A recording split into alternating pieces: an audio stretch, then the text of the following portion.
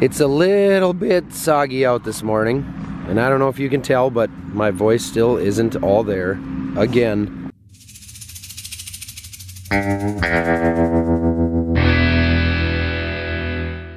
But it's getting better. It's just like, it's just hanging on to the last little bit of miserability. It's gonna be a good day, except it's gonna take several hours for the beans to dry. They're gonna need that sun to finish coming through to dry everything out. Now you two, wrestle. One of the first things I'm gonna pick away at this morning before anybody else is here is mounting this extra screen, second screen, into the strip tiller. The strip tiller is hiding way back there in the new shed, as you can see. We've got the doors wide open on the new shed right now. For those that didn't catch it, it sounds like this new shed is supposed to be started November 1st. So early November, hopefully there's a lot of action going on here. I'm gonna make sure to show you guys all of that. It's gonna be really nice to get that buttoned up and be able to stack this thing completely full of everything that's been sitting in the yard for the last six months. In three days, two days, three days, something like that. I've got it lined up to get this thing out in the field and actually spend the day with this thing. We planned that ahead of time this year to make sure we're not scrambling to do it all the last day before the ground freezes up. So I'm just gonna have to take a day away out of the combine and kind of wrestle with this thing for a day. This second screen here is not necessary because I've got my main computer here. But there's so much information with this unit hooked to it it's nice to have two screens so I don't have to toggle back and forth to get my information. I've got one set of information up here and one set here. I'm not con constantly jumping back and forth between pages. There we go. I am double screened. Now I need to put in my tank cameras. I gotta get the screen in. I've got a Dakota Micro screen here with the cameras in the tank that hook up here. I've got to mount my Wi-Fi box, my iPad controls. There's a lot to this monster. So, I just need to remember exactly where that camera screen is. Do you have any idea, Anna? None? You want this wrench? We're gonna check in here. There's this, I need that. Look at that. There's my camera screen. I swear that fog is half lifted in just the last 15 minutes. Put your hat on.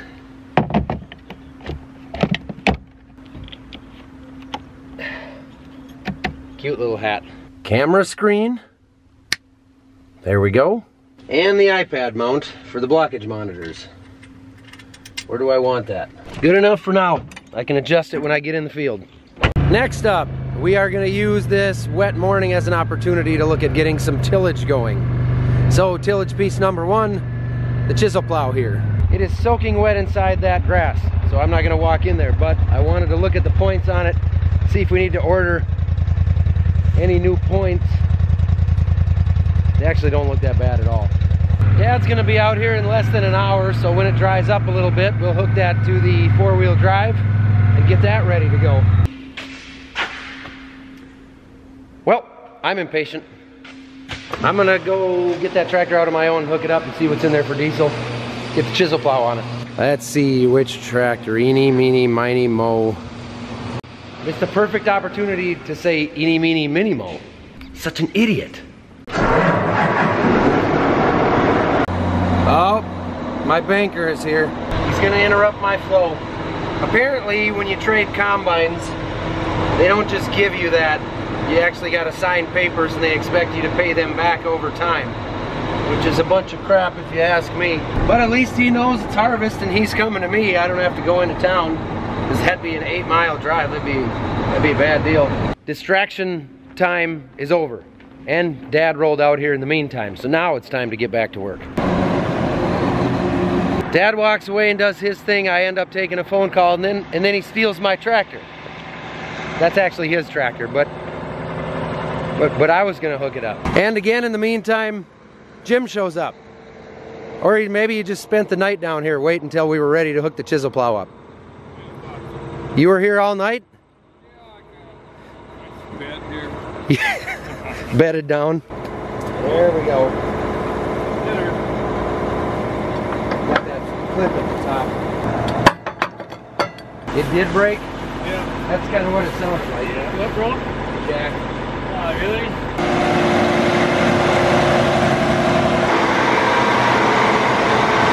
Looking at our maintenance log here, we went through this tractor in April with that many engine hours on it. Well, it's got eight engine hours on it since we changed oil and filters. We ended up hooking this to the Mendeco to the uh, the uh, vertical tillage piece this spring.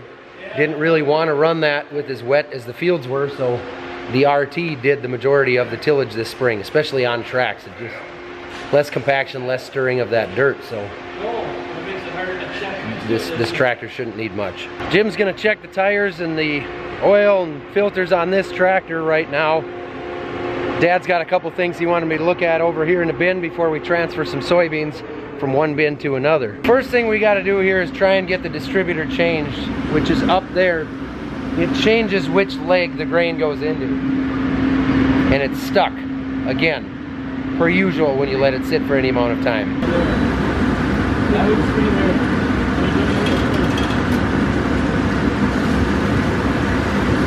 I honestly couldn't get it moved in six days. Pedal move.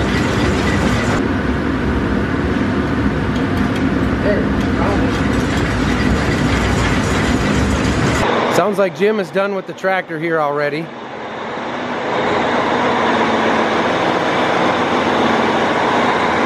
Cucumbers are ripe.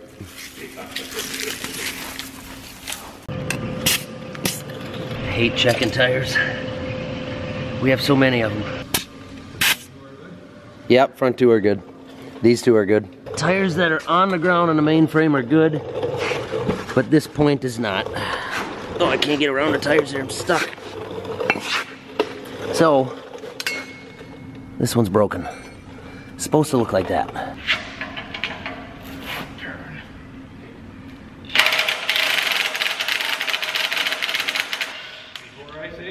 He's got his hopes really high. You want the bolt? Both of them? Oh, you don't want.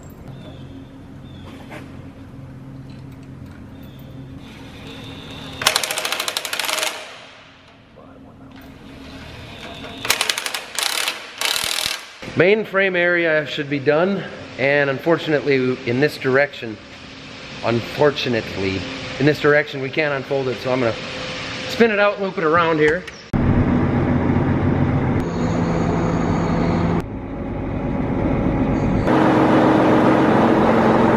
I hear dad making some noise over here. The conveyor's running, so I'm gonna go check on him, see how things are going for him over here. He was doing some logistical stuff here before we start running grain from one bin to another. Well, I think it worked. Good. Got Good. the corn cleaned out and went into the end GSI bin, so the first three are all shut and the GSI is open. So it went where it was supposed to. Went where it was supposed to. Good. Turns out Isla needs a hole on her project here. What is this thing? Um, I made it. Well, I know you made it. She wants a hole in it so she can hang it up. It's not gonna work, Isla. I think that's what you're gonna have to do because that's too brittle to drill. The combines are only a half mile south here, so we're gonna actually run out and check and see if they'll go now because it's pretty sunny and breezy, so they're they're gonna go soon.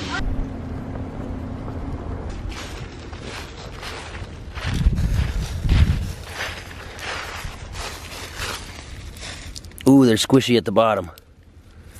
Yeah, The pods are not snapping open on bottom. I thought they'd break easier than they do. Yeah, I was afraid we should have been here an hour ago, but I wouldn't have gone an hour ago. no, I don't know if we go right now. By the time we get fired up, I think we should try it. Yeah. Oh, they're squishy. They are. They picked up some moisture too. These are 16%. Think they're that wet? They don't crack at all. These are good thick beans. They, well, they're not super tall, but they branch out. Look how much they branch. Dog. I got bad news, dogs. The beans are a little too, too wet. You don't care one little bit, do you? We're gonna look over our heads. There's always a few sections to replace and maybe fuel them up and it might be 40 minutes before we're going anyway. Those will dry fast now, so maybe in 40 minutes everything will be ready. Check the oils first. I know my head should be good because last night we actually had to fix a piece of the sickle section, the sickle, and then we, we replaced a couple sections. I can't talk.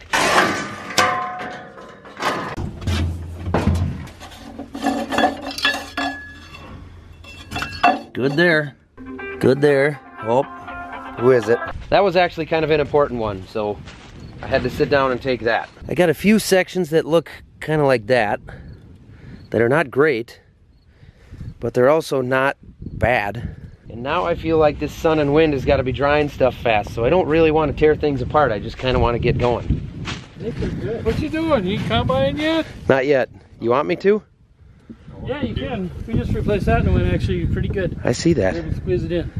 I see that. Are you hopping in with me in the combine? Yeah. Okay. Got a homemade sandwich with you? It's not homemade. Oh, it's not? Push the green button on the bottom there. Push that one. Oh. I thought you meant And now push this one. the combine. Yep. And then hit that one. Yep. And then hit that one. This. Yep. Oh, you can see the beans sticking right there. You can. There's some stuck ones from yesterday, from last night. It's hauling diesel. Oh. So like, you can drive it wherever you are. Yep, so that we always have gas for the combines. The biggest thing we want to look for here is this number right here, which we just broke in, so it hasn't actually adjusted correctly yet. We want to keep that for sure under 14 if we can. So once we get into it a little farther here, we'll see what we've got. If they get up over 14, 13 and a half, we don't want to take them to the elevator. They get up over 15, they got to go in our bin, get some air on them for sure, uh, and then we'll move them after they dry down. If they get up to 16, we got to wait an hour.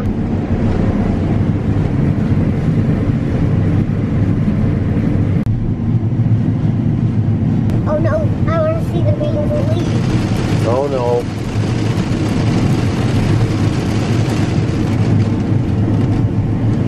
What was? Did you hear that? Yeah. Those are cab beans. They're up above our head now. Just a few of them that spilled over. I knew we were getting full. Isla, your ride is here. They've come to take you away. Is it your turn to ride with me? Ugh. Rhiannon and I heard a clunk, and we're thinking it was a rock, but it didn't sound like it went through. So we're gonna jump out and dump the rock trap at the end. I'll have you do it Okay. because it's super dusty and itchy, and I don't want to be a part of that. So you get to do it. You're my celebrity guest. Okay. It's dusty. It's so dusty. Rule number one when dumping the rock trap: always turn into the wind. The combine's gonna start honking, Rhiannon, and it's okay. It is? Yeah, it's just gonna be mad. See? See, I predicted that. What are the odds? Okay, rock trap's pretty simple. All right, pull that lever forward. This one? Yep, Where did the rocks come from? they come from down, they'll fall out in here. God. You need some help?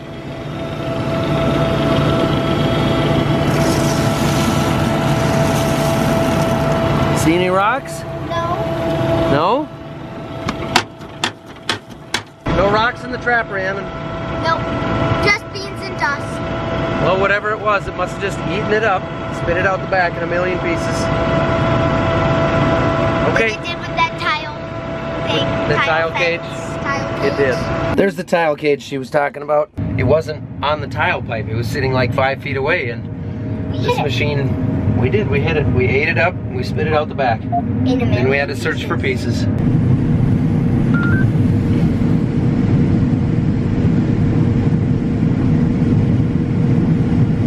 Now we've got a we've got a missing guard down here. Everything looks fine, we just need to bolt one on. Right there it's missing, huh? Yep.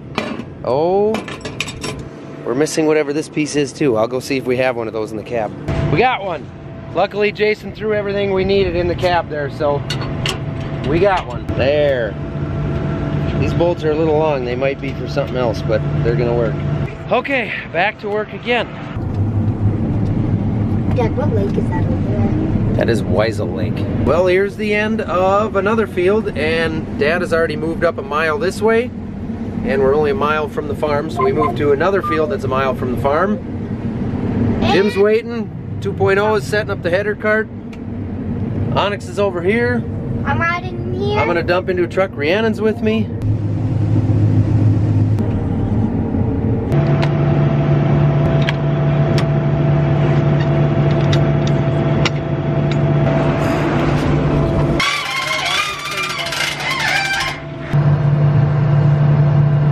As long as we're switching fields and the fuel tank is here, we're gonna go ahead and top it off also. We're at about a half a tank, so it isn't gonna take a ton. But it's still gonna take 200 gallons or so, so we'll shut her down for the moment.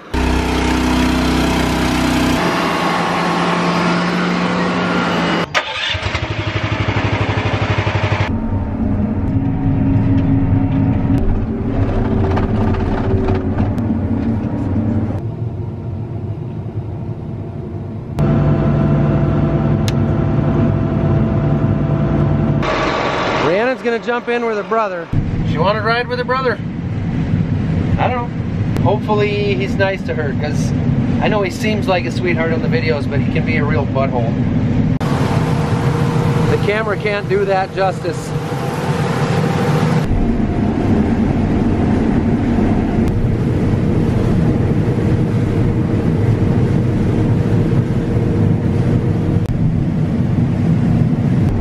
See a little girl bouncing around and an editor that brought me supper.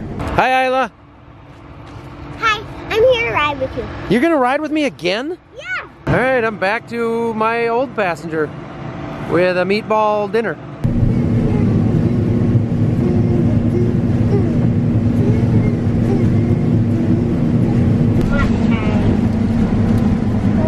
How's your sandwich? Good. I'm getting tired, Isla. Um, You too? Here's the final corner of the evening. yeah, it's, yeah, this is. I don't know why, but it seemed like a long day. It's not the evening. It is definitely the evening. It's late evening. It's not evening. What is it then? It's the middle of the night. Well, we're not quite there. I've worked to the middle of the night and, and past. Trust me, it's not the middle of the night. Yes, it is. No, it's not. If you were home, It's the morning. fighting us to say you didn't even want to go to bed. Hey, Dad. Yeah. What song am I singing?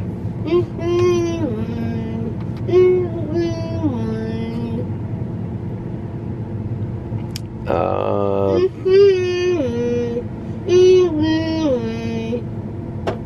I made it. Hmm, is it Tupac? What's Tupac? All right, lead us home. So, are we all gonna go in that? No, I think we're gonna go in Grandpa's pickup. Oh!